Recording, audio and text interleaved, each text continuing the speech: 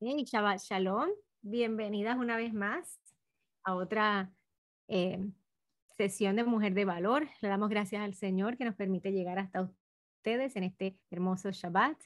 Y gracias porque ustedes no solamente se conectan, sino que también comparten este enlace con otras hermanas. Eh, sabemos, ¿verdad?, que hoy para nosotros es un Shabbat como cualquier otro Shabbat, eh, pero estando nosotros en la dispersión y aún los que están en la tierra, estando en este tiempo que nos ha tocado vivir, pues sabemos que pues muchas personas en el día de hoy están celebrando la Navidad. Eh, nosotros continuamos con el Shabbat. Eh, sabemos cuál, cuál es la razón por la que nosotros celebramos el Shabbat y le agradezco el que se haya conectado en este día. Así es que esperamos que sea de bendición y que recuerde compartir este enlace para que otras personas también lo puedan ver.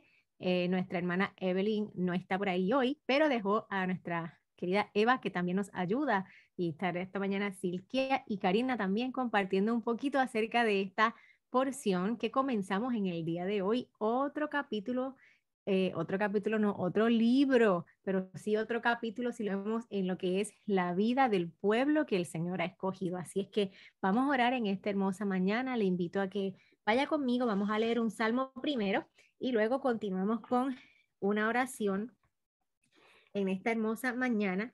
Y les invito a que vayan conmigo al salmo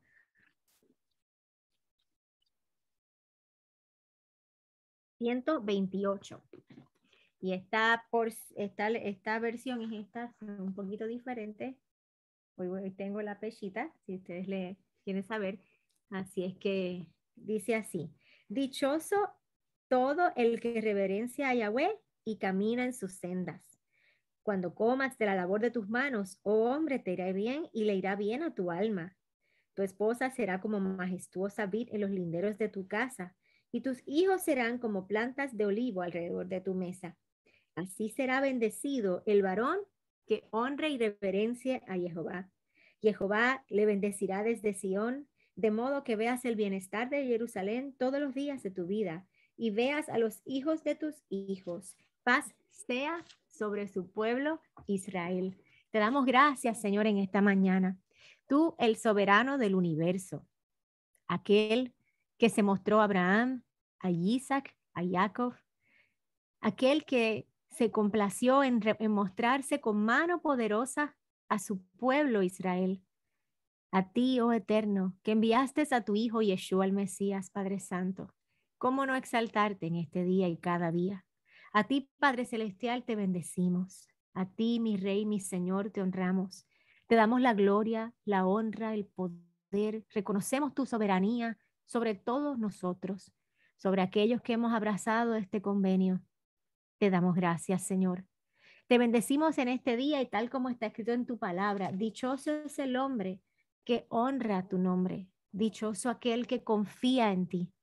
Tú, tú tienes promesas para tu pueblo, Señor, las cuales las vemos semana tras semana en tu palabra y también podemos decir que las vivimos en cada segundo, cada momento que tú nos concedes, mi Rey, de vida cada momento que tú nos concedes, Señor, de poder mirar las cosas que están a nuestro alrededor, en todo y por todo, Padre Celestial. Nosotras reconocemos que tú eres nuestro Rey, nuestro Dios, nuestro único y verdadero.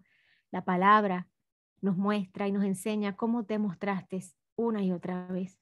A través de las generaciones y de los tiempos, tú has permanecido. Has prometido, oh Eterno, que aunque el cielo y la tierra pasen, tu palabra no pasará. Señor, y en esta mañana, porque nos abrazamos a tu palabra, porque volvemos a ti, Señor amado, porque sabemos que en este día tú lo santificaste desde el principio de la creación. En seis días hiciste todas las cosas, mas el séptimo lo separaste, lo santificaste, lo has llamado el día más deseado de todos los días. Padre Santo y Padre Bueno, nos acercamos a ti por medio y por los méritos de tu Hijo Yeshua el Mesías. Qué honor nos das que nos has llamado hijas del Altísimo. Y a través de tu Hijo, Padre, nos acercamos en esta hora. Señor, tú que conoces el corazón de tu pueblo, tú que conoces la necesidad que hay en medio de tu pueblo, te imploro, Padre Santo, que en este día tú tengas a bien traer una palabra de restauración, una palabra de aliento, una palabra, Señor, que nos guíe en cada decisión que tengamos que tomar. Padre, que así como hemos dicho una y otra vez y como está escrito, lámpara es a nuestros pies tu palabra y lumbrera nuestro camino. Tú has prometido, Señor, fijar tus ojos sobre nosotros y mostrarnos el camino por el cual debemos andar. Por lo tanto, oh Padre Santo, en esta hora, nosotras venimos delante de ti con humildad y te pedimos, Padre Celestial, que pongas en cada una de nuestros labios carbones encendidos. Señor, que la palabra que compartamos o la enseñanza que podamos traer o la experiencia que podamos compartir, Señor, sea dirigida por tu Santo Espíritu. Porque si es dirigida por tu Espíritu, Señor, sabemos que hará lo que tú enviaste quisiera, pues tu palabra no tornará atrás vacía. Te damos gracias en esta mañana por esta bendición y te pedimos, Padre, que tú escuches el clamor de cada una de mis hermanas, las que están conectadas, las que estarán viendo esta grabación más adelante.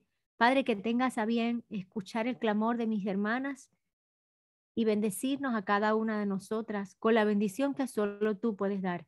Pero mientras llega la respuesta, Señor, que podamos esperar en ti pacientemente sabiendo que tú respondes el clamor de tu pueblo y que no llegas tarde. Solo nos, a veces nos desesperamos un poco, pero tú siempre llegas justo a tiempo, que podamos esperar en ti, Señor. Te damos gracias en esta mañana en el nombre y por los méritos de tu Hijo amado Yeshua, el Mesías. Amén, amén. Saludamos a todas las que ya se han conectado una vez más. Alma, Ana, Brenda, Cari, a ver, se me Carmen Delgado, Elizabeth, Evelyn, Felicia, Yani, Janina, Lidia, Mayrín, María de Lourdes, Nidia, Paola.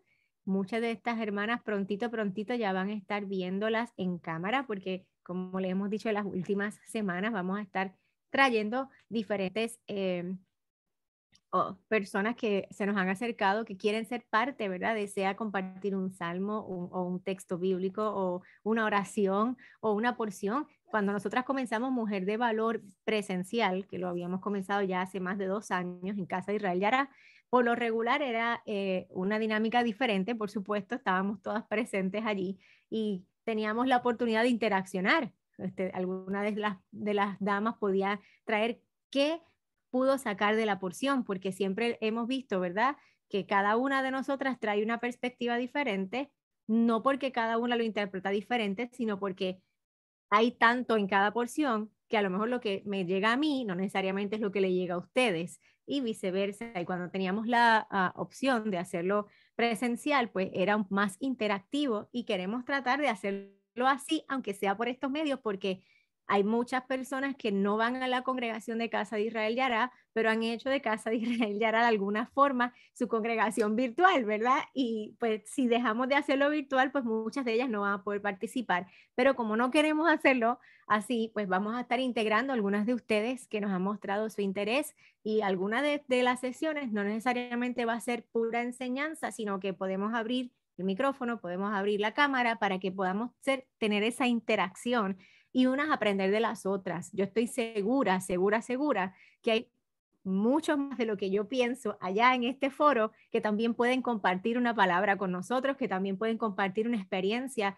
sobre todas las cosas que sacamos de cada porción. Yo siempre trato de ponerlo lo más práctico. No siempre se puede porque hay porciones que son puras leyes, que son puras instrucciones que necesariamente no aplican porque no estamos en la tierra, no somos levitas, no estamos en el templo, etcétera, etcétera, y son, pues, no son aplicables, se puede llamar, pero nosotros tratamos al máximo de traer lo que más podamos de cada porción al día a día, porque usted y yo vivimos, ¿verdad? Usted y yo tenemos familia, usted y yo tenemos congregaciones, usted y yo tenemos eh, una sociedad, vivimos en una nación, vivimos en un lugar donde la Torah no es el estilo de vida. Entonces, ¿tenemos reto? Si alguien me dice que no, por favor, prenda la cámara ahora mismo y ore por mí en esta hora para que yo no tenga los, retos que tengo. Siempre decimos que vamos todos en un medio diferente, pero en el mismo océano. Unos van ¿verdad? En un tremendo yate, otros van en un, en un paddle boat, otros van nadando, otros van flotando, otros van en, un palito que se agarraron, pero todos estamos en el mismo océano. Así es que todos tenemos diferentes eh, situaciones, pero le pido al Padre que a través de su espíritu, su palabra dice que el espíritu es el mismo, que a través de su espíritu podamos nosotras tener esas herramientas que necesitamos. Mi esposo viene enseñando unos cuantos Shabbats y él ha hecho esta frase bastante repetida. Y él dice, yo no quiero enseñarlos a ser religiosos, yo quiero enseñarlos a ser seres humanos. Y a mí me chocó un poquito porque toda la vida criada en el, Evangelio decía, ay, ¿qué estar inventando ahora, Gabriel? ¿Cómo que no quiere ser que no seamos religiosos y cada vez en este mundo se pone la situación más difícil? ¿Cómo me voy a parar en algo?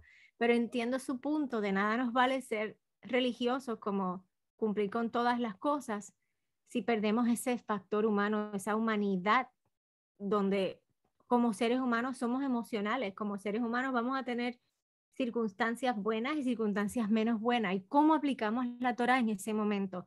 Que el Eterno nos ayude para que podamos en las cosas simples no resbalar y fracasar, sino poder ponerlas por obra. Hablamos de todo el carácter del Padre, que es, que es bondad, justicia, misericordia, rectitud. Y en las cosas simples nos colgamos. That's okay. Lo, eso me dice que todavía hay esperanza porque estamos vivos.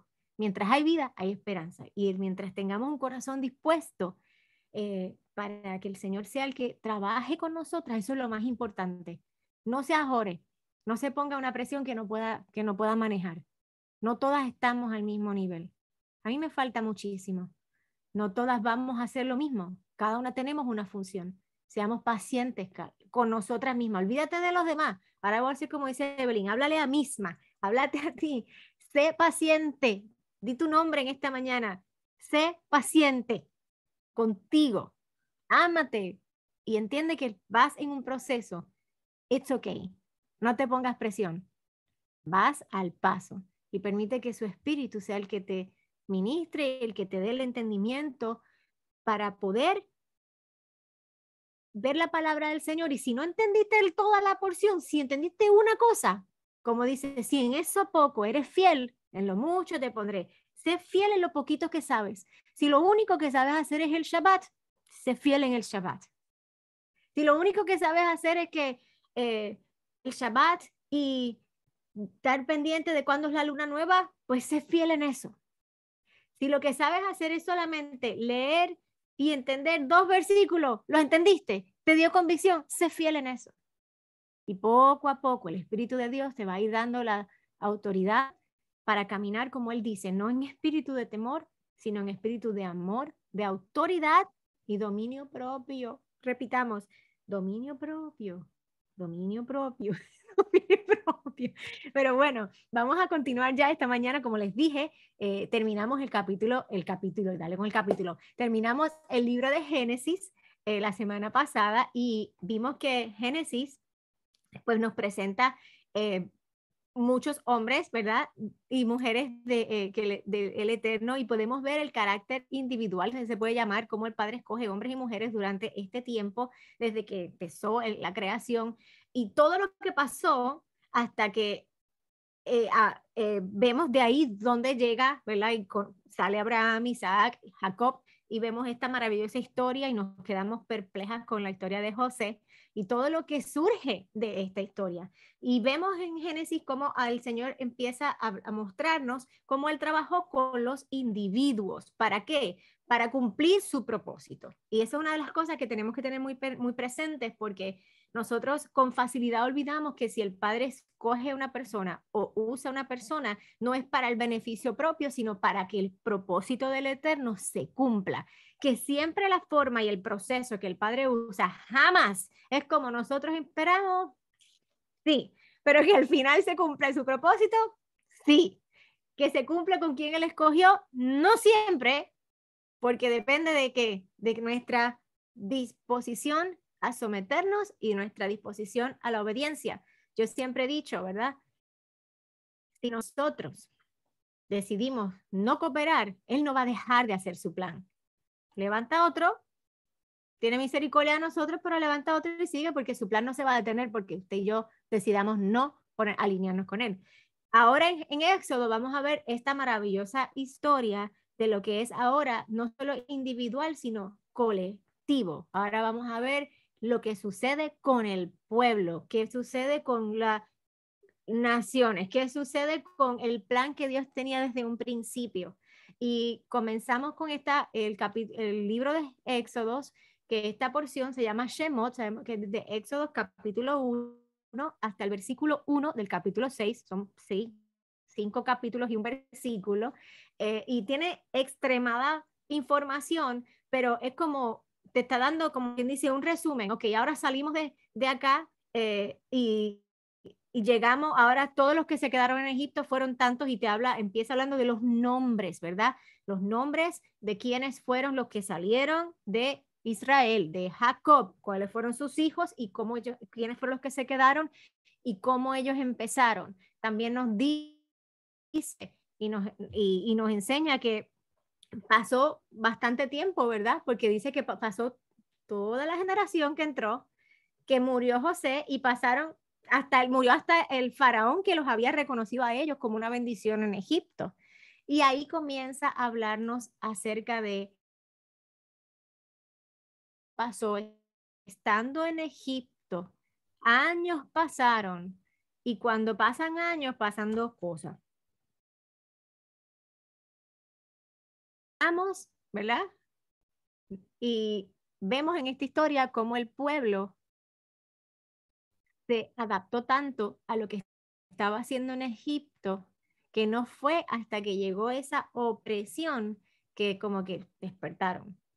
No fue hasta que llegó el tiempo difícil que ellos decidieron clamar al Dios de sus padres. Quiere decir que aunque pasó una años después todavía alguien en esta otra generación se acordara que había una promesa que Dios había hecho a ese pueblo, que tenían que haber, que tenían que clamar, que tenían que gemir para que el Padre enviara una redención a este pueblo. Así que ahora en este, en este libro de Éxodo vamos a tener nuestros ojos abiertos de cómo se va a ir aplicando y cómo se va, eh, I have the word in English, cómo se va eh, desarrollando, perdón, cómo se va desarrollando el plan y el propósito del Eterno con el pueblo que Él escogió. Pastora, yo no estaba allí. It's ok, yo tampoco, pero también el Señor hizo provisión para nosotros. Y es maravilloso como vamos a ver en estos capítulos que Él específicamente habla incluso de los que estaban allí y los que no estaban allí. Habla del, del natural como del extranjero hay un plan para cada uno de nosotros que el Padre desde el principio de todas las cosas siempre consideró. Así es que nuestros ojos abiertos a ver cómo ahora en Éxodo, Éxodo, ¿verdad? Que no, es, no, no significa nombre, es que esta porción comienza y esos fueron los nombres de, pero cómo este Éxodo lo podemos aplicar nosotros en lo que estamos viviendo hoy en día.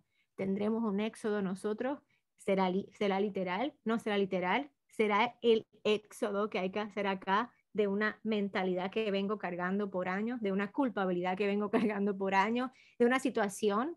Tengo que salir de esta mentalidad de que yo antes hacía las cosas así, ahora las hago así, pero quiero volver atrás. En Egipto eran mejor las cosas, etcétera, etcétera, etcétera. Así es que, ¿qué perspectiva, qué pudo obtener nuestra hermana Karina de esta porción? La va a compartir con nosotros. Shabbat Shalom. Ay, ay, ay, sí, es que todas las para allá, como dijo la pastora, nos enseñan algo y, de todas aprendemos, aún cuando son leyes y, reglas y regulaciones que no aplican hoy porque vivimos en un, lugar diferente de la tierra, uh, igual aprendemos de ahí porque entendemos que un día vamos a vivir en la tierra y vamos a vamos a aplicar a nuestros hijos, nosotros no sabemos quiénes nosotros le debemos de enseñar. Solo para allá, cada para allá trae su, su riqueza con ella y aprendemos de todo. Y como dijo la pastora, tanto lo ponemos en nuestra perspectiva, no, me equivoco siempre con esa palabra, perspectiva, perspectiva para, para nuestros días como para lo que ha de venir. Porque no sé usted, pero yo espero la redención final. Yo espero cuando mi Mesías regrese y nos lleve a la tierra y nos, nos deje listos para poder vivir la Torah como la justicia, como la rectitud, como todo lo que es la ley de él, ¿verdad? Entonces, Shemot, o como dijo la pastora, Éxodos, que es la segunda palabra, nombres que le llaman a esta para allá, es la para allá número 13. ¿Ok?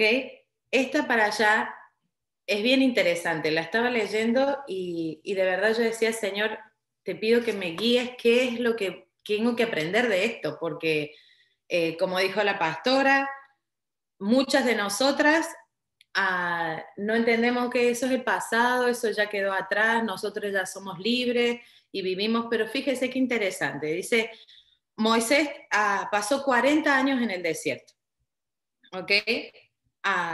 Él se fue al desierto porque ya sabemos, atacó a un, a un egipcio, lo mató, lo enterró, lo, descubrió otro egipcio y él agarró y tomó sus cosas y se fue para eh, el desierto y en el desierto consiguió esposa porque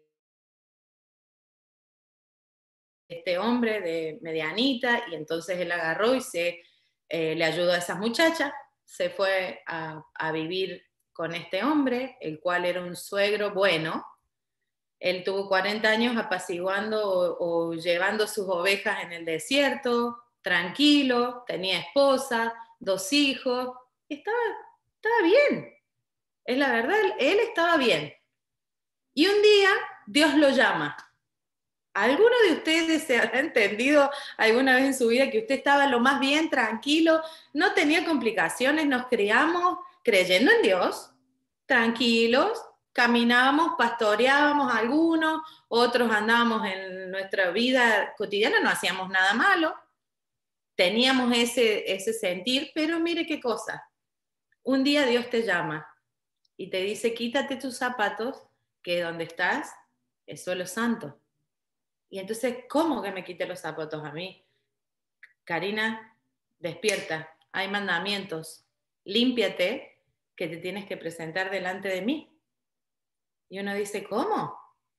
Me cambió la vida, si yo estaba viviendo lo más tranquila, tenía sustento, tenía mi esposo, mis hijos, pero bueno, entonces él te llama, te dice que te cambies, que te alistes 40 años, estuviste dando vueltas en el desierto, haciendo lo que te debía de hacer un buen carácter para lo que te voy a llevar. Y acá viene Moisés y le, le dice, ¿y qué hace Moisés? Dice que, dice, Dios lleva a Moisés a tomar una decisión. Dejo a la comodidad de mi vida, de lo que yo estoy acostumbrado para seguir al Señor, o no, porque como dijo la pastora, usted tiene la decisión, Moisés tenía la decisión. Yo tengo la decisión y usted tiene la decisión. Entonces Moisés de repente se encuentra con que yo, Karina, que me trabo cuando hablo, que cuando estudio toda la semana y cuando vengo aquí me, olvido la mitad de las cosas que quiero decir, pues sí, a él se le ocurrió que eras tú, que era yo y que eran ellas y nos llamó y nos dijo, venga, que yo te llamo y yo te envío a que vayas a tus hermanos que están en opresión y les digas que viene la redención final y que necesitas limpiarte, prepararte y hacer sacrificio para mí. Yo te voy a sacar de donde estás y te voy a mover a donde quiero llevarte, pero tienes que decidirte. Muchos preferimos la comodidad y no iniciar el camino de regreso para el rescate de los que amamos. ¿Ok? Pero hay otros que son más firmes y que dicen, ¿sabes qué? Aquí estoy, como sea. Pero miren Moisés, Moisés, que Moisés es un, entre paréntesis, ¿no? Porque no hay, no hay nadie como el Mesías, pero un superhéroe, un hombre que tenía todo para... Yo no hubiera creído que Moisés iba a dudar. Y él dijo, Señor, tú me vas a enviar a mí, que no sé hablar, que soy lento para comunicarme, que si era tartamudo o encima un poquito torpe parece que era para hablar también, por lo que he escuchado algunos rabinos dicen que no solo era tartamudo, sino era medio carina, no sabía ir despacito para decir las cosas, media fuertecita, ¿no? Por ahí tenía algo de argentino, no sé, no, un chiste, entre paréntesis. Pero bueno, aquí vamos. Dice, la para allá de esta semana nos indica un cambio de era. ¿Ok? Yo la quiero comparar con lo que vivimos hoy en día. ¿Ok? Estamos teniendo un cambio de era. Yo puse esta semana en mi Facebook un post que decía, nos acostamos libres y nos levantamos esclavos de la asimilación. ¿Qué le pasó a Moisés, bueno, al pueblo de Israel? El pueblo de Israel vivió 400 años dentro de un país que tenía sus reglas, sus normas, y aunque ellos vivían en Goshen, ellos se, mezclaron con el pueblo. ¿Ok? Y miren qué curioso que los hombres israelitas, después de que muere José y que muere Jacob, muere Jacob y muere José, ellos se unieron al pueblo y se asimilaron al pueblo israelita. Usted no sé si ha escuchado, pero muchas personas o rabinos dicen de que gracias a las plegarias de las mujeres la redención vino. Hoy en día estamos aprendiendo, somos mujeres. Y no sé si le ha pasado a ustedes, tenemos la bendición que hay hombres que están parados firmes y hacen lo que el Eterno lo llama, pero en este tiempo la mujer juega un rol muy especial en la vida de nuestros seres queridos, de nuestra familia. Siempre lo jugó, lo hizo. Pero en este tiempo, si usted va a una congregación, hay 80% mujeres, 20 hombres. Es la verdad. Y los hombres les cuesta tomar el rol sacerdotal que deben de hacer. Pues acá venimos nosotras a donde nos tenemos que preparar y no asimilarnos al sistema en el que vivimos. Dice, la contaminación se arraigó al pueblo de Israel. El pueblo de Israel vivía mezclado entre los egipcios, no diferenciaba lo santo de lo profano. ¿Por qué tuvo que estar el pueblo tanto tiempo en el desierto? Porque ellos tenían una mentalidad que no era la mentalidad del pueblo, del pueblo de Elohim. Él quería que aprendiéramos. Nosotros hoy en día lo tenemos más fácil. La gente dice, no, no es más fácil. No, sí es más fácil, porque tenemos la palabra del Eterno que nos indica exactamente lo que Él requiere de nosotros. Pero sin embargo ese pueblo lo estaban sacando y empieza la opresión del faraón. Ajá, están creciendo, le vamos a matar los hijos. Ahí ya sabemos la historia de Moisés. Después pasan 40 años, Moisés en el desierto, él vuelve y ellos estaban de esclavos, ellos estaban sufriendo. Y cuando Moisés va, y le habla, ¿qué le hace el faraón? Les dice, ahora vayan y busquen el, la, el pasto, no sé con lo, que lo hacían, la, la, qué? La paja, sí. La paja con lo que lo hacían a los ladrillos, ¿no es cierto? O lo que hicieran ellos para construir.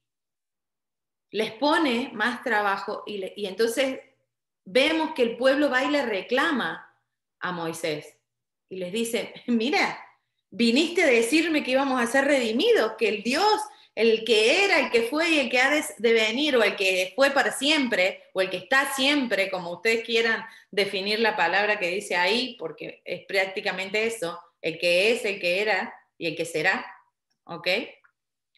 Tú me dijiste que Él nos iba a librar. ¿A usted le, le suena algo de lo que nosotros vivimos? Porque a mí sí me suena. Cuando usted toma la decisión de salirse del sistema en el que vivimos, de decir yo vivo separado, vivo para Elohim, Él te va a redimir, empiezan las cosas a ir mal. Y más te oprime, y más te da, y más le dan. Y uno dice, ¿cómo puede ser? ¿Qué estoy haciendo mal?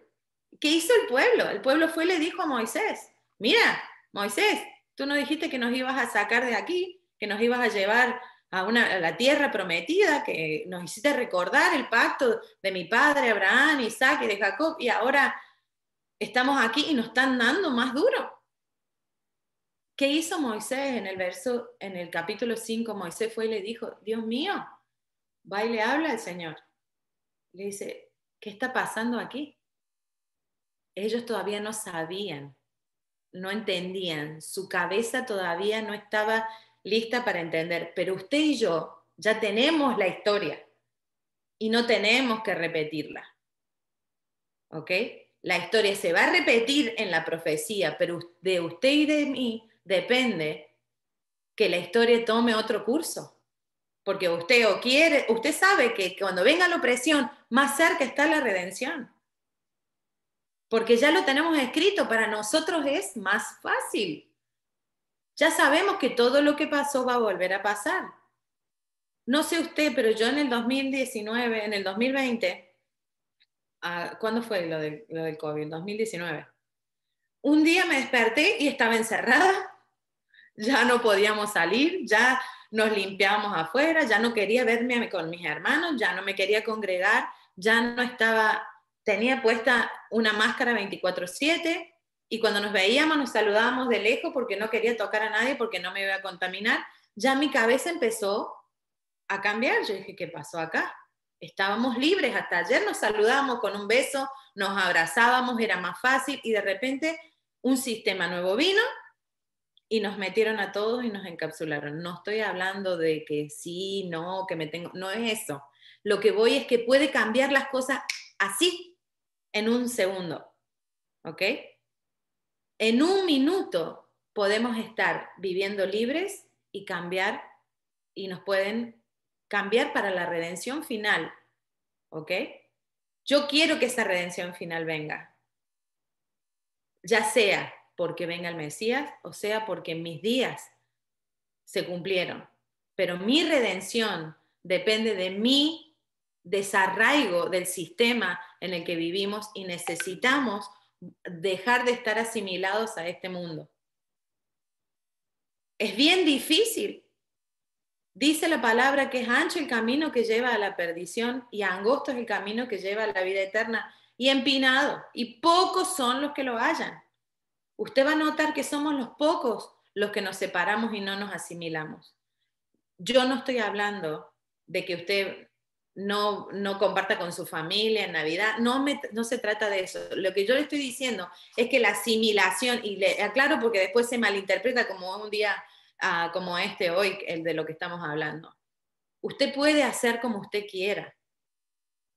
Me explico, como usted entienda que es lo correcto que uno tiene que hacer. Yo tengo familia que me escriben, que me preguntan, gracias Baruch Hashem, que este año eh, familiares que no, que no guardan Torah ni siquiera nos han escrito para como otros años que nos escriben felices fiestas o demás. No nos han escrito. Pero yo de verdad deseo que, que el momento que se pase en familia sea para que vengan al Eterno, para que haya que, entiendan de que hay algo más allá de esto, ¿no es cierto? Y nosotros, al no asimilarnos al sistema, empezamos a ir en contra de él. Y es lo que le pasó al pueblo de Israel. Cuando ellos empezaron a asimilarse, empezó la decadencia espiritual.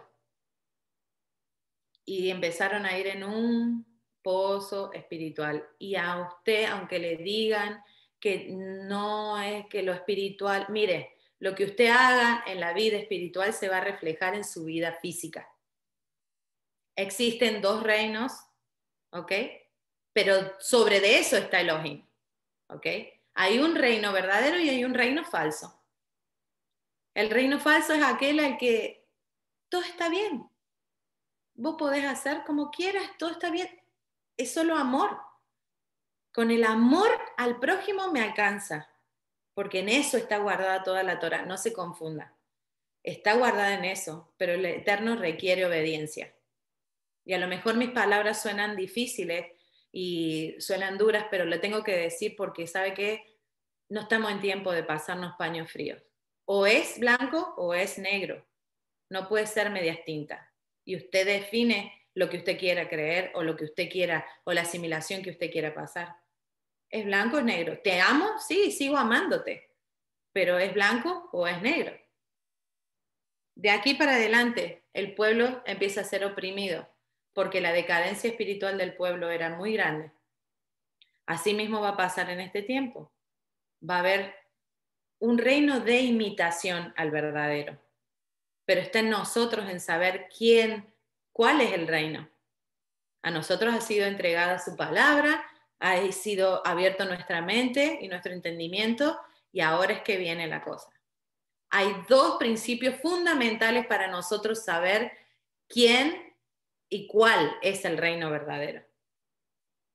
El primer fundamento está en que, no sé si a usted le dijeron, pero a mí cuando yo estaba creciendo, me dijeron que la tierra, el, rey, el, rey, el reino de aquí de la tierra es de Satanás. Ese no era, a mí me dijeron, es, es Satanás. ¿Eh? Él reina en este mundo, el diablo reina. ¿Ok? Pues le voy a diciendo que eso va en contra de la Biblia. ¿Ok? Porque la Torah dice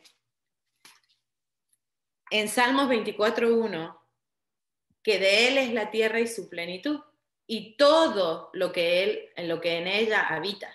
¿Ok? Después sabemos que también lo dice en Salmos 19.1, los cielos cuentan la gloria de Dios y el firmamento anuncia las obras de sus manos. Después escuchamos la historia de nuestro rabino Mesías, de, de, Yeshua el Mesías. ¿Fue a, dónde? Fue a, y tomó las llaves de qué? Del Seol. Él tiene dominio sobre esto. Entonces, no importa lo que pase alrededor suyo, Él es el que tiene el dominio, el control y todo en esta vida depende de Él, es por Él y es para Él. Así como dijo la pastora, de uno depende tener el dominio propio, el control, la mansedumbre y todos los frutos del Espíritu, pero Él es el que tiene la última palabra y Él es el rey de esta tierra. Él tiene el control de todo, a él nada se le salió fuera de orden. Así que por más que vengan tiempos en los que van a ser difíciles a lo mejor, o usted mismo en su vida tiene situaciones difíciles que dice, no sé cómo hacer esto, porque desde que guardo la Torah, todo se me puso en contra. Pues le digo, nada se le salió de control al Eterno, Él la está alistando para el tiempo en el que debemos de vivir. Usted no nació un día antes ni un día después. Usted vino en el momento correcto y Él la está listando para las situaciones correctas, en el momento correcto, como hizo con Moisés. Así lo va a hacer con nosotros, como hizo con el pueblo, así lo va a hacer con nosotros. El segundo, y ya casi voy terminando, el segundo principio es de que el Eterno nos dio la tierra para que nosotros la vivamos, la, la sojuzguemos y reinemos aquí. ¿Ok? Que cuando venga el Mesías reinaremos con él, sí. Pero por mientras, como dijo la pastora, en lo poco fuiste fiel, en lo mucho te pondré. El carácter de nuestro Dios es justicia, es rectitud, es bondad. Ese es el Dios que le servimos nosotros. Es un Dios que perdona, un Dios que tiene misericordia. La misma cosa la espera por sus hijos. Usted representa al Dios de Abraham, al Dios de Isaac y al Dios de Jacob en esta tierra. Usted representa al Mesías, usted es la luz del mundo. Si usted no brilla, pues tu Dios no brilla. Cuando la gente te mira a ti, mira a tu Dios. Cuando la gente te mira a ti, mira a quién le sirves. Y de eso a mí me ha pasado. Yo he visto gente que dice amar a Dios, se llenan la boca que el, Señor y que y cuando vienen a lo más lo más pequeñito, yo dije, ¿qué le voy a creer? Que lo que me está diciendo que ama a Dios y mira lo que hace con su familia. Mira lo que hace con su hijo, mira lo que hace con, con quien sea que lo haga, con el prójimo, con el animal, con el perro que tiene en su casa. Hasta en eso, hasta en eso, todo, todo indica al Dios que uno le sirve. Y si nosotros queremos pasar la redención final mal, pues sigamos haciendo lo que se nos da la gana. Pero si usted quiere ser de la parte de esa gente que sean la luz, que, que quieran venir a ti. Miren cómo se habían ellos metido con el pueblo, que el Eterno le dijo, pídanle a sus vecinos y vistan a sus hijos con el oro, con la plata, con todo lo que tengan. Incluso, escuché a un rabino que dijo que cuando ellos estaban en Goshen, iba a ser la Pascua, el pueblo de Israel estaba tan esparcido en Israel, eh, tan esparcido en Egipto y mezclado entre el pueblo, que él tuvo que pasar casa por casa para ver cuál de las casas tenía la sangre y pasó por arriba. Porque si, si realmente todo el pueblo hubiese estado perfecto, él iba y salvaba a todos los que vivían en Goshen, porque ahí vivía el pueblo, supuestamente. Sin embargo, fue casa por casa, porque no todos los que estaban en Goshen eran parte del pueblo de Israel. Como también hubo egipcios que se salvaron en ese tiempo. Pues mi resumen es, debemos de no asimilarnos al sistema en el que vivimos. Fuimos separados. No somos extraterrestres, pero debemos vivir en la justicia, en la rectitud, en el amor, en la bondad. Que los demás puedan ver en nosotros quién es nuestro rey, qué hace nuestro rey. Extenderle la mano, conocernos, amarnos, respetarnos, sin embargo, no asimilarnos. Y esa es la línea bien finita. Amamos a nuestros seres queridos, amamos al que no conoce, pero no nos asimilamos a ellos. Nosotros hicimos un pacto, nos sentamos en una mesa y comimos de la Pascua. Nuestros hijos, nuestra familia, todos están en el camino del Eterno, los que tenemos a familia y los que no, están en proceso porque si usted, usted hizo promesa con el Eterno y usted juró pacto, olvídese que tarde o temprano su generación tiene que venir. También es como dijo la pastora, está ahí. Él no va a dejar de hacer lo que tenga que hacer, es nuestra decisión, pero nosotros tenemos fe y confianza en las promesas que el Eterno nos ha hecho. No nos asimilemos. Él nos dejó nos dijo, esta es su tierra, a él nunca se le fueron las cosas de la mano, a él no se le van a ir las cosas de la mano. Amemos, respetemos, no nos asimilemos, no somos de este mundo, ni de este sistema, ni de este cosmos. Vivimos aquí, pero nosotros tenemos una ley pura, una ley santa, una ley que nos hace diferente a los demás. Si te asimilas, sos igual. Y no es eso lo que el Eterno quiere. Él quería un pueblo que fuera sacado de ese sistema y que le rindiera culto, que le hiciera sacrificio, que celebrara sus fiestas. De ti depende ser igual que todos los demás o ser diferente. No te asimiles. Ese es mi mensaje para el día de hoy. A veces es difícil, pero es lo que el Señor puso en mi corazón. El Eterno las bendiga, las guarde y le pasó a Silvia. Shabbat Karina. Así, mira, una aportacióncita ahí como una bichuelita, ¿verdad? Ella me encanta. Y voy a, voy a empezar haciendo un poquito la distinción sobre lo que es asimilación y lo que es influencia. Mira, muchas veces pensamos en un éxodo y pensamos una fuga. Se fue todo el mundo por ahí para abajo, se abrió la llave, salió corriendo. Pero la realidad es que si nos vamos, incluso el diccionario llama éxodo a emigración de un pueblo o de una muchedumbre de personas con cualquier motivo. Si me escuchan medio doble, es que tengo aquí algunas de las chicas y se prendió uno de los teléfonos. Así que ya está resuelto. Eh, también dice que es el libro de la, de la Biblia. Solamente esas son las únicas dos definiciones que tiene Éxodo.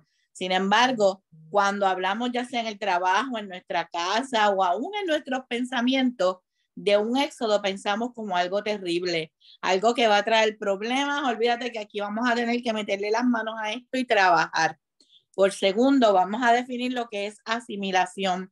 Según el diccionario, asimilación es apropiarse de algo que le pertenece a otro pueblo, a otra costumbre, a otro ideal y volverlo tuyo. También dice que puede ser concederle el derecho a otro de lo que son tus costumbres o, tu, tus ideales. También dice que es asemejarse, compararse o parecerse a otro. Eh, también dice que es apropiarse los organismos de las sustancias necesarias para conservación o desarrollo.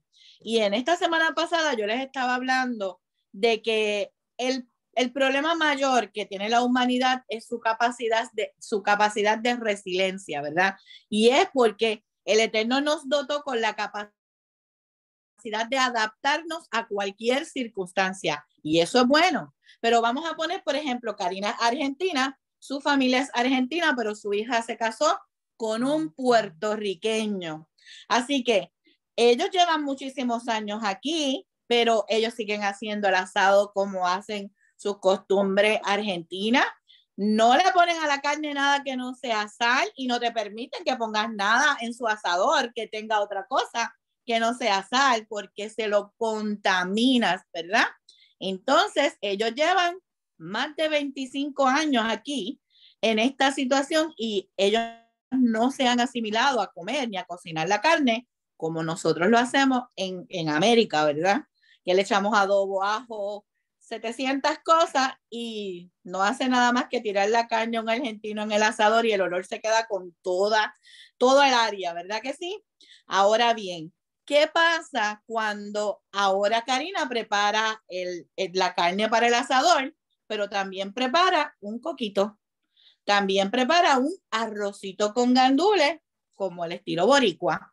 Está entrando la influencia de otro pueblo a su casa y ahora Karina tiene una batalla y lo estamos haciendo con un ejemplo bien clásico, porque la asimilación es algo muy sutil. Y muchas veces cuando estamos hablando de asimilación, personas nos dicen, pero es que José vivió en Egipto y se vestía como ellos, pero es que en el camino Moisés fue criado en el palacio y se rapó la cabeza como los egipcios y hablaba en egipcio, claro que sí, pero mira la distinción de asimilación y de influencia. Karina va a hacer el arrocito con gandules lo más parecido a lo que le hacemos las boricuas. Pero sabes una cosa, si tú le preguntas a ella qué va a preferir, ella va a preferir su ensalada de papa rusa o su ensalada verde con su asado siempre, porque esa es su vivencia, esa es su experiencia. Va a disfrutar de nuestro arroz con gandules, pero ella nunca va a preferir poner en su mesa el arroz con gandules antes que su ensaladita rusa o su caña asada. Ahora, si llegara el momento que Karina dice, vamos a cocinar, y dice, no, no, no, vamos a cocinar arroz con gandules, el pavo asado, los pasteles, el coquito, tenemos entonces nosotros que pensar, ¿y qué le pasó a Karina? ¿Qué pasó con Karina? Que ella es argentina y está ahora imitando la conducta, la cultura o la vivencia del pueblo puertorriqueño. Pueden ser dos cosas.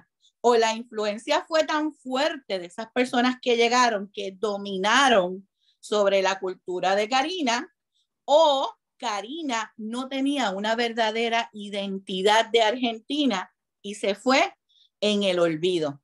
Se ve ahora más sencillo lo que es la asimilación y lo que es la influencia. Nosotros podemos ser de influencia y de hecho el Eterno nos ha llamado hacer de influencia para las naciones, pero nunca nos dijo asimílense con nadie. ¿Qué costó el que José estuviera en Egipto? Tuvo un precio. El que José se vistiera, hiciera quizás algunos de sus rituales, sí, costó dolor y costó opresión. Igual que Moisés, el hecho de que Moisés fuera criado en el palacio, aún siendo parte del plan del Eterno, tuvo un alto precio porque le trajo a Moisés duda, miedo.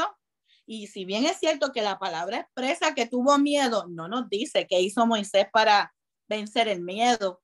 Podemos deducir que en, en la continuidad de la misión, él adquirió la valentía. Pero fíjense, el inicio de la redención se encuentra en el Éxodo.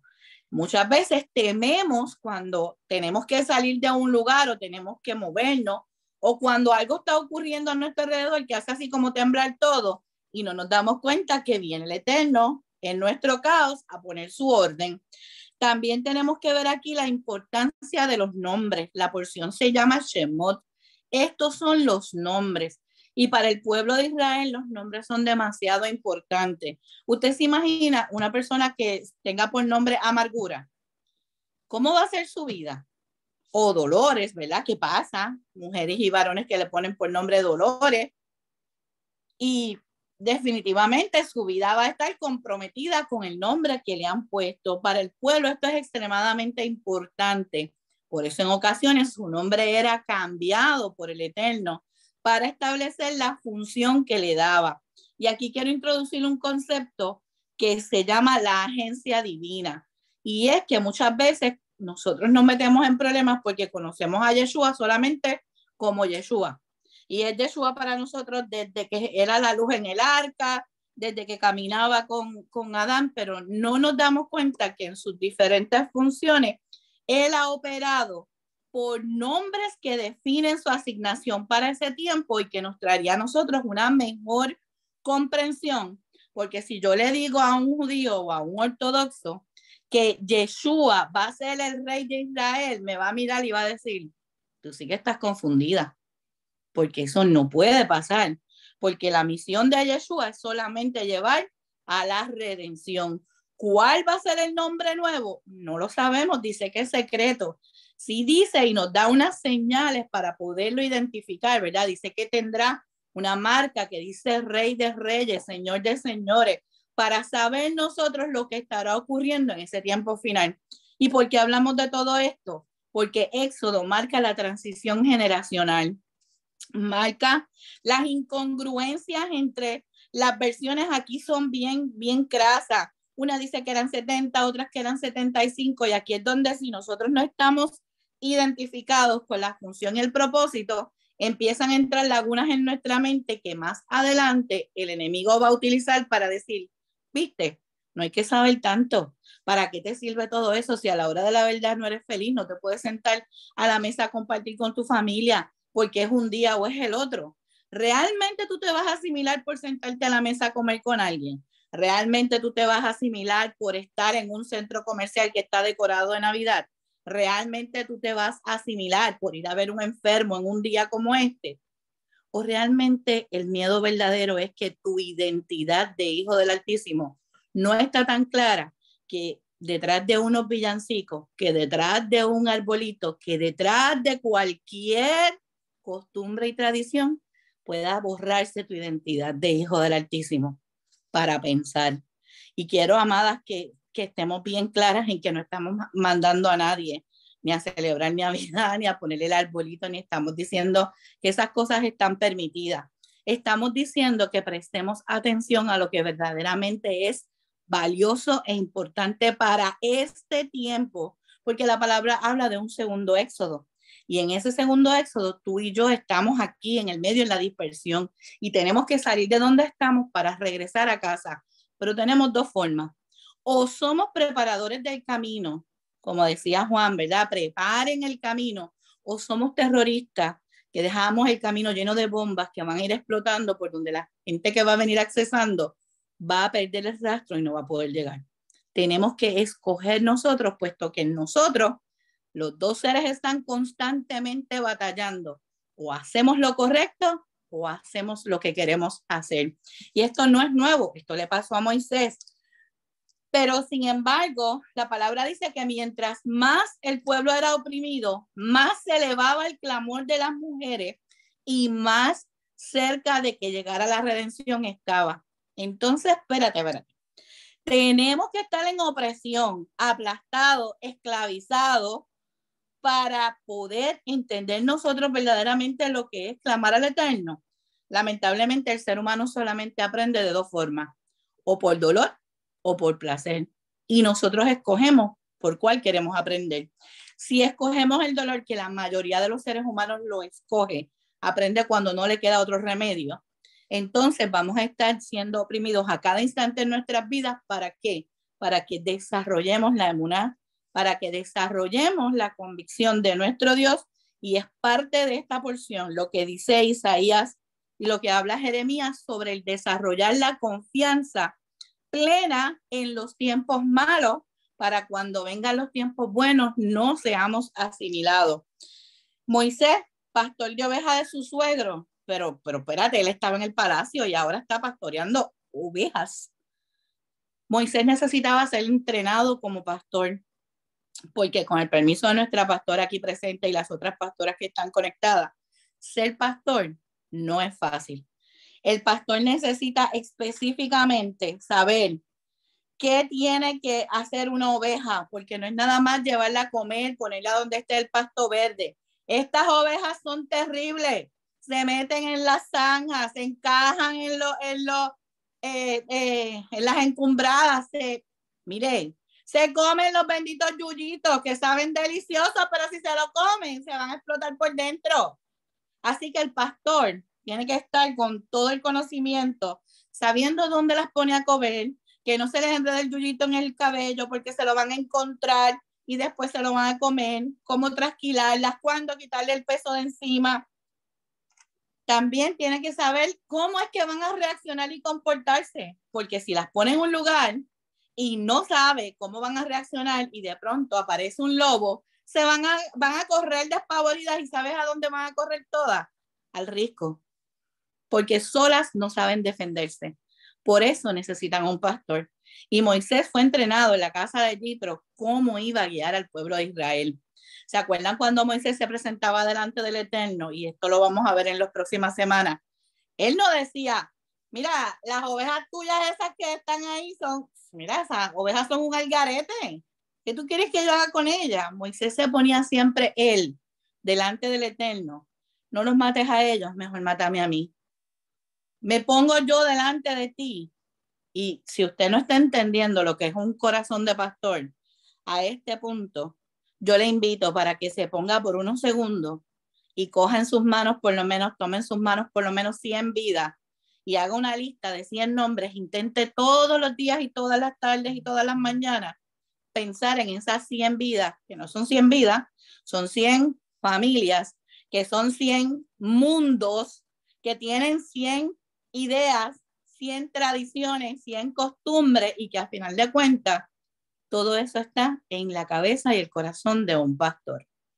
No solamente eso, sino que también hay un principio hebreo que dice, track good, but saying good.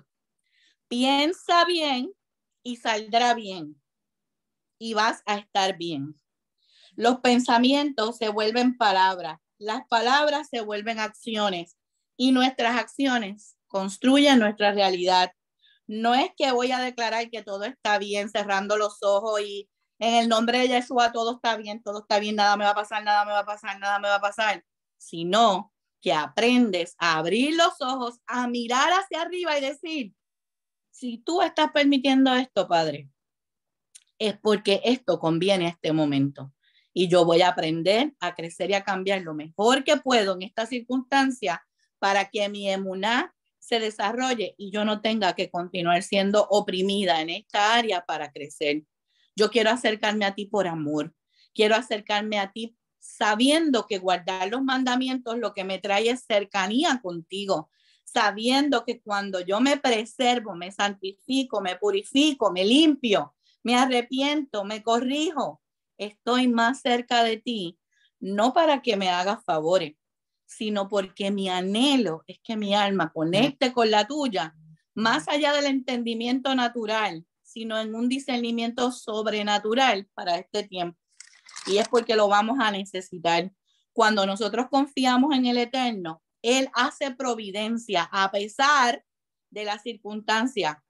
Aún si fuera imposible en el mundo natural, ¿se acuerdan cuando eh, este, Abraham llevaba a Isaac para el sacrificio?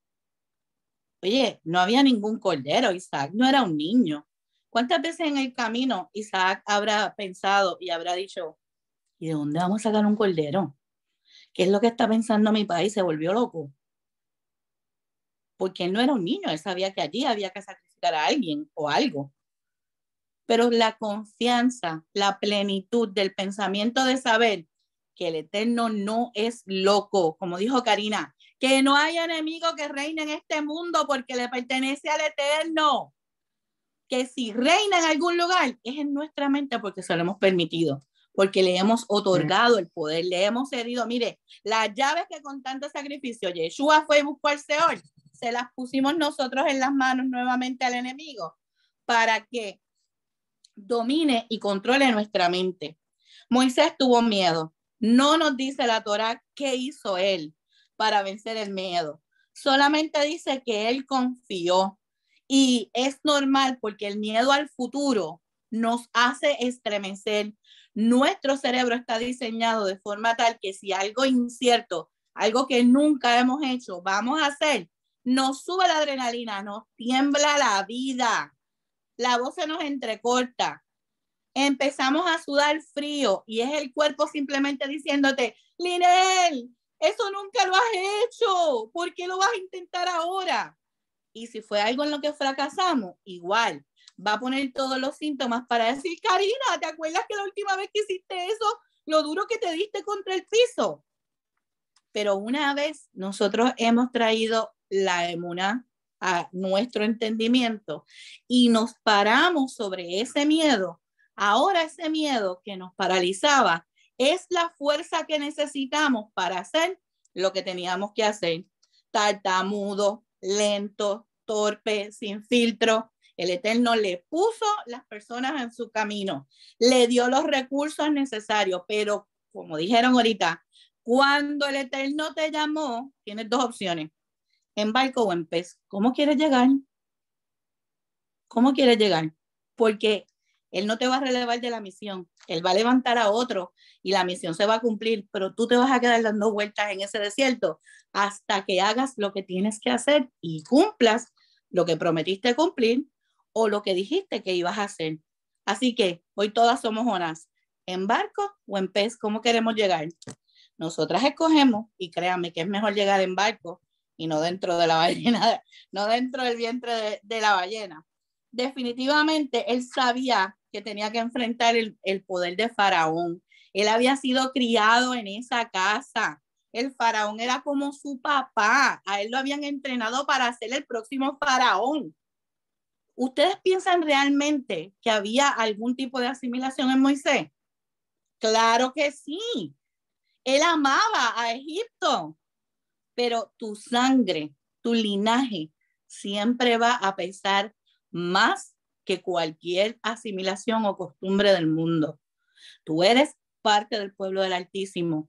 Moisés cuando se dirigió al pueblo de Israel, cuando dice que fue a verlo, dice que fue a ver a sus hermanos, pero si él era la realeza y el pueblo estaba aquí abajo, eran esclavos.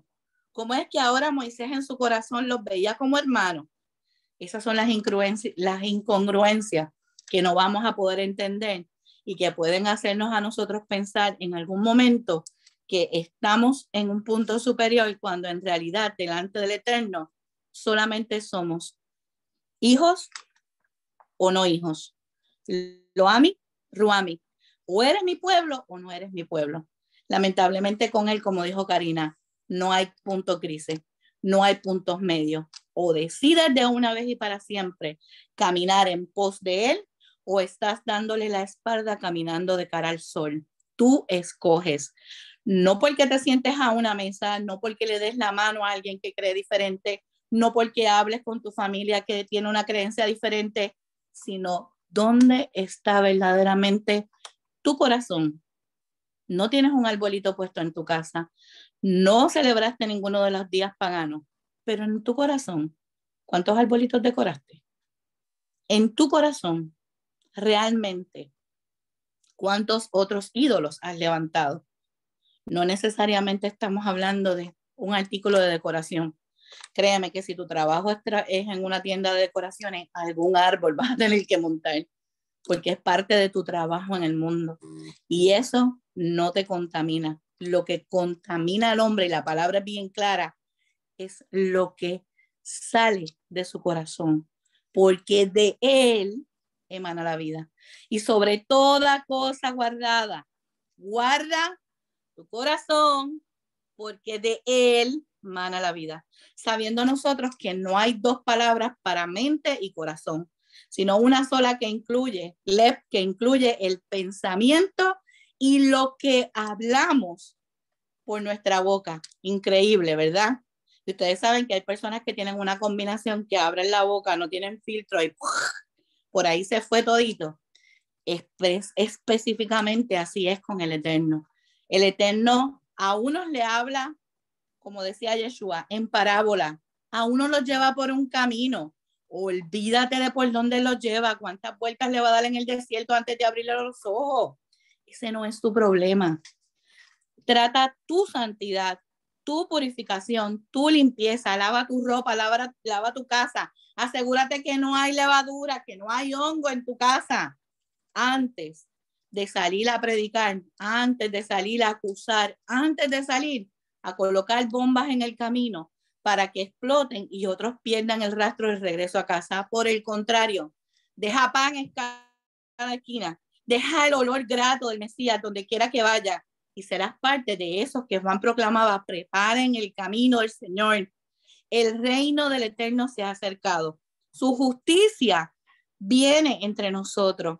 En, este, en esta temporada, María concibe al niño.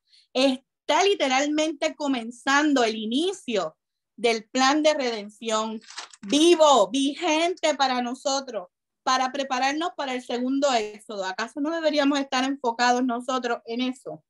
En las haftarás de el Humash dice, cerrando Vallejí, entrando a Shemot. Dice que eh, la obediencia a la Torah es la razón de ser del pueblo de Israel. Sin ello, lo único que puede esperar en el futuro es hostilidad, derrota y exilio. Asimismo, la gratitud también forma parte de los principales valores de este pueblo. Sin embargo, la otra parte de su voluntad es un tanto sorprendente. David le ordena a su hijo aplicar la pena de muerte sobre Joab y Shimi. ¿Era acaso la venganza un requisito para ejercer el liderazgo en el pueblo de Israel?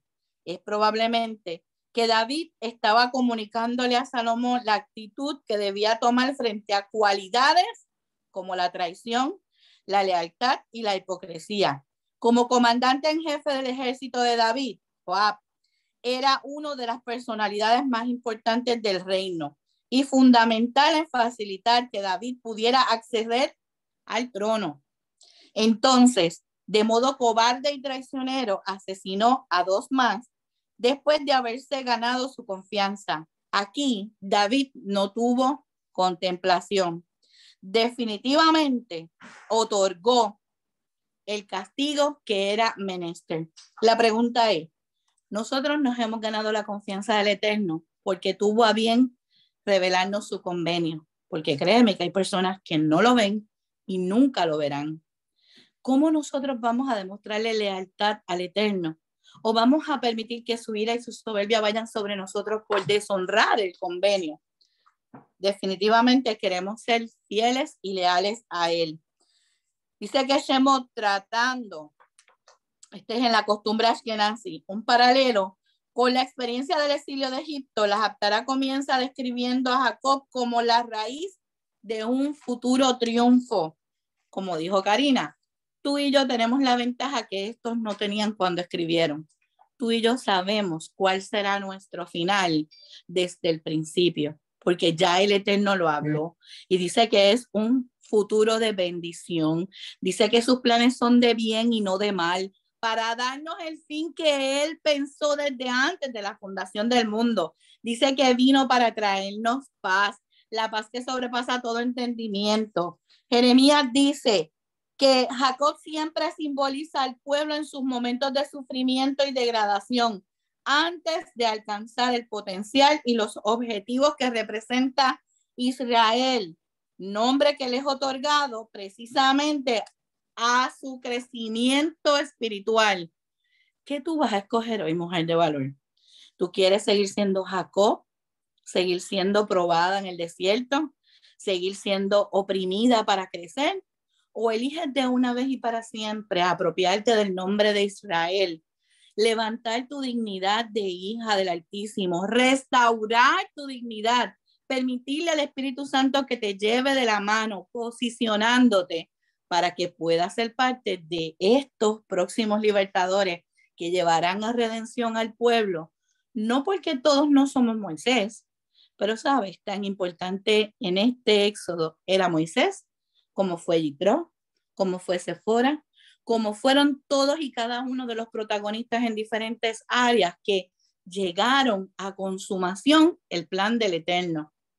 ¿Cuál es tu posición? Solo tú puedes encontrar cuál es tu llamado. Solo tú puedes ir donde tus pastores y pedir discernimiento para que te ayuden a posicionarte. Pero es tiempo, amadas, de que entendamos que el éxodo es para bien. Inevitablemente va a venir. Inevitablemente nos va a estremecer lo incierto del mundo venidero. Pero nuestro rey está en su trono está vivo, está listo para mover su brazo a nuestro favor y solamente está esperando que digamos, como dijo Moisés, Jinení, heme aquí, envíame a mí. Es todo lo que él espera.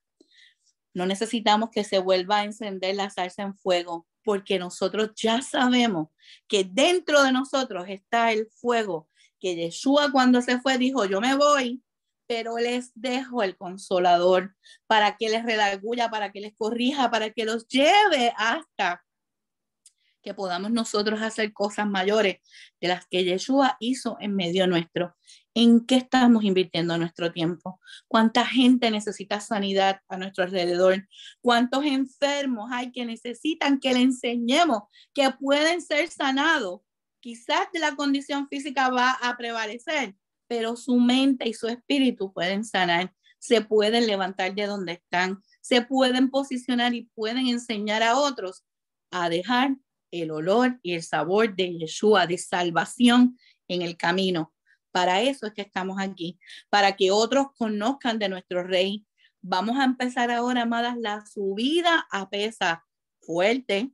Si ha sido fuerte hasta aquí, por los refuerzos, instalar a tu transmisión unos refuerzos porque los vamos a necesitar. Pero él dijo que estaría con nosotros, como mm. estuvo con Josué, como estuvo con Moisés. Y nosotros solamente tenemos que encargarnos de que a donde él vaya, vayamos.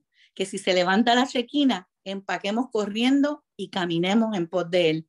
Es todo lo que él necesita de nosotros, una decisión, que nuestro corazón y nuestra mente estén alineados congruentemente a la identidad de hijos que tenemos.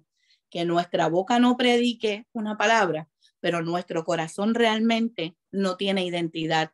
Realmente no hemos sido adoptados. Si no está conectado nuestro corazón con la costumbre y la vivencia del pueblo de Israel, porque inevitablemente es por donde único podremos entrar a Jerusalén, ¿verdad? Por una de las puertas. ¿Por cuál? No sabemos. Quisiéramos saber para aprender más pero no sabemos y no nos toca saber aparentemente hasta que el Mesías venga y nos diga por la uno, por la dos, por la tres. Mientras somos el pueblo de Dios, la congregación de los santos, el linaje escogido, el real sacerdocio, el tesoro especial del rey. Y así debemos comportarnos. Shabbat Shalom. Shabbat Shalom. Y aconteció que después de muchos días murió el rey de Egipto, y los hijos de Israel gemían a causa de la servidumbre y clamaron, gemían y clamaron. Y subió el clamor de ellos, subió el clamor de ellos al Padre. Él los escuchó y se acordó. Ah, el Padre le dio amnesia. Como, como dijeron mis hermanas hoy, Él no va a cambiar, Él sigue estando en control, Él es el que determina una cosa y la palabra dice que Él hace como Él quiere. Se acordó el Padre del pacto que hizo con Abraham, Isaac y Jacob. Y eso cuando lo leí y las escuchaba a ustedes, me volvía a la mente el versículo porque cuando no tenemos la identidad, con facilidad nos podemos desviar. Y ahí él vuelve y dice, se acordó del pacto, identidad, con Abraham, con Isaac y con Jacob. Y los miró a los hijos de Israel y el Padre dice que se acordó, los reconoció, los tuvo en cuenta, dice otra versión, los tuvo en cuenta. Señor, ayúdanos Ayúdanos, Padre, para que podamos vernos como tú nos ves. Y entendamos que tal vez nuestra, no nacimos en la tierra. Probablemente se nos hace más fácil identificarnos con la cultura, con las costumbres de donde nacimos. Pero una vez que entramos en este pacto, Señor, que entramos a través de tu Hijo Yeshua, que tú abriste la puerta para que entráramos. Te pido, Padre, que a través de tu Espíritu nos reveles nuestra identidad en Mesías, nos reveles y nos muestre nuestra identidad en ti, Señor. Que volvamos a ese lugar de encuentro contigo, que volvamos a ese lugar donde, así como hizo Moisés, él se detuvo y miró la zarza ardiendo, se detuvo y miró se detuvo y fijó sus ojos. Que nosotros podamos mirar, detenernos, mirar otra vez, volver a ese lugar de encuentro, a ese lugar donde tú escuchaste nuestro clamor, a ese lugar donde pasó muchos años y estuvimos errantes, aún estando la religión tradicional, andábamos errantes porque nos movíamos como cualquier viento de doctrina de un lado a otro, Señor, hasta que un día en tu misericordia nos has en tu misericordia. Te acordaste de nosotros, te acordaste de un clamor que había que nadie escuchaba, te acordaste de lágrimas que tal vez mientras estábamos en el baño, bañándonos, donde nadie nos veía o en el carro, Señor, cuando todos se iban, te acordaste, te acordaste de nuestro clamor y en misericordia, en misericordia, respondiste al clamor. Y ahora, Señor, en este proceso donde todavía estamos caminando y todavía muchas vamos tal vez cambiando nuestra mentalidad de lo que nos asimilamos por tanto tiempo, de lo que nos enseñamos, nos enseñaron que era bueno y resultó que no, no todo era así, o lo que nos enseñaron a medias. Vamos aprendiendo, desaprendiendo y aprendiendo. Ayúdanos, Padre Celestial. Ayúdanos, oh Eterno, a través de tu Santo Espíritu, pues tu Espíritu es el mismo. No, no, hay un solo Espíritu que nos lleva a toda la verdad. Señor, ayúdanos, Padre, a recobrar esa identidad que hemos adquirido a través de Yeshua el Mesías. Adquirir la identidad que tenemos como hijas del Altísimo. Padre, ayúdanos a ser luz como realmente debemos ser. Ayúdanos. Y así como el pueblo, Señor, cuando clamó, clamaron y gimieron que tú escuches el gemir y el clamor de tu pueblo, Señor. Que ahora que nos ha tocado vivir, Señor amado, en esta generación, en este tiempo, si nos ha tocado vivir y ser parte de la historia, Señor, es porque así tú lo determinaste, pero tú conoces mejor el camino que nosotras. Ayúdanos, eterno, fortalécenos, que así, Señor, como un día dijimos, Sí acepto el convenio, sí recibo a Yeshua como mi Señor, como mi, mi Adón, mi Salvador, como el que a través del cual tendré redención. Sí acepto, heme aquí. Y tú te mostraste, Señor. Revuélvenos a ese momento. Revélanos una vez más aquellos que han perdido su identidad en el camino. Muéstranos la identidad en Yeshua la identidad que tenemos como hijos y partes de tu pueblo, Señor. Padre, renueva la fuerza de mis hermanas. Te pido, oh eterno, que a través de tu rúa tú puedas traer en cada una de nosotras el querer como el hacer. Padre Santo, que restaures en cada una de nosotras ese lugar donde tuvimos un encuentro contigo donde entendimos que ya la autoridad no es la autoridad que nos, nos sujetábamos antes, sino que ahora eres tú, que nos sujetamos a ti, que quitamos el calzado porque entendimos que tú eras el que estabas en total autoridad, que rendimos nuestra voluntad, Señor. Donde un momento llegamos a, a entender que, ¿por qué contender contigo? Llévanos a ese lugar, a ese primer amor que arde en nuestros corazones, esta, deseo genuino de conocerte, de vivir para ti. Que lo hagamos como dijo nuestra hermana Silvia, que realmente nuestro corazón esté en esto, que nuestra mente esté alineada a tu palabra, Porque si lo hacemos por ritual, nos vamos a cansar y nos vamos a perder en el camino, Señor, si no lo hacemos con la intención correcta. Ayúdanos, Padre Santo. Ayuda a cada una de mis hermanas. Yo te doy gracias por ellas. Gracias por cada hermana que se conectó en esta mañana, Señor. Gracias, mi Rey, por cada una de ellas. En esta hora las presentamos delante de ti. Y te pido, Padre, que obres de una manera especial en cada una de nosotras, cada generación que representamos. Ayúdanos, Señor. Así como vimos en esta porción la importancia de clamar, la importancia de las mujeres en diferentes etapas, aún las, las que ayudaban, las parteras que ayudaban a las hebreas, las mujeres hebreas. Oh Padre Santos, aún la acción que tuvo la esposa de Moisés para preservar ese convenio, Señor, Padre Santo y Padre bueno, ayúdanos para que podamos hacer lo que nos toca hacer. Te pido por cada una de mis hermanas, donde quiera que estén, Señor, y en el lugar que tengan que ir a congregarse, la misión que has puesto en cada una de nosotras, que podamos cumplirla, mi Rey. Que tu shalom sea con cada una de nosotras.